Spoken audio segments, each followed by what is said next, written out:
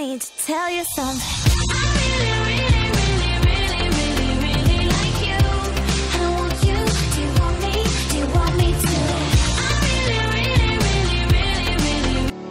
Hello guys welcome to Dinesh तो guys आज हम बात करेंगे स्कारलेट जॉनसन के बारे में, यानी कि नताशा रोमन ऑफ़ ए के ब्लैक विडो मावल का ये सुपर हीरो कैरेक्टर इतना अच्छा कैरेक्टर है देन जब से स्कारलेट जॉनसन ने इस कैरेक्टर को प्ले करना चालू करा है, तब से ये कैरेक्टर काफ़ी ज़्यादा पॉपुलर हो गया क्योंकि ब्लैक विडो को इससे पहले कोई जानता भी नहीं था।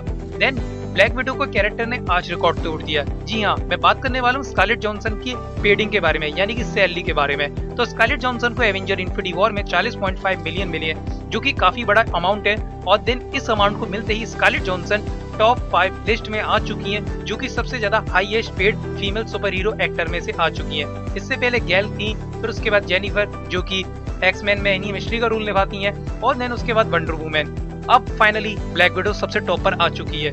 तो ये 2018 का सबसे बड़ा रिकॉर्ड बन चुका है, जिसमें कि नताशा रोमनोफ यानी ब्लैक विडो यानी कि स्कारलेट जॉनसन को 40.5 मिलियन मिली है, जो कि काफ़ी अच्छी बात है। और मार्वल फैंस में जो इन्हीं ब्लैक विडो के फैंस हैं, यानी कि मैं भी उनमें से एक हूँ मुझे काफ़ी ज़्यादा खुशी हो रही है कि उनको इतना सारा पैसा मिला और देन वो सबसे टॉप पर है। और मैं इस बात के लिए सबसे ज़्यादा खुश हूँ कि मैं जिससे सबसे ज़्यादा प्यार करता हूँ, देन जो मेरे दिल के ज़्यादा करीब है, ये कैरेक्टर जैसे रॉबर्ट डॉनी जूनियर क्रिस और वैसी ब्लैक विडो तो वो सबसे ऊपर ही होने चाहिए मेरे हिसाब से। तो गाइज़ मैं काफ़ी ज़्यादा खुश हूँ। तो गाइज़ आपको ये न्यूज़ कैसी लगी मुझे कमेंट सेक्शन में ज़रूर बताना। और गाइज़ आज के लिए बस इतना ही। अगर आपको ये वीडियो पसंद आते प्लीज़ लाइक कमेंट शेयर करो। जो बंदे इस वीडियो नहीं देखे, या तो उस पर कंडेज के हाथ मारो या पैर मारो। सब्सक्राइब करो। बाय जा रहा हूँ.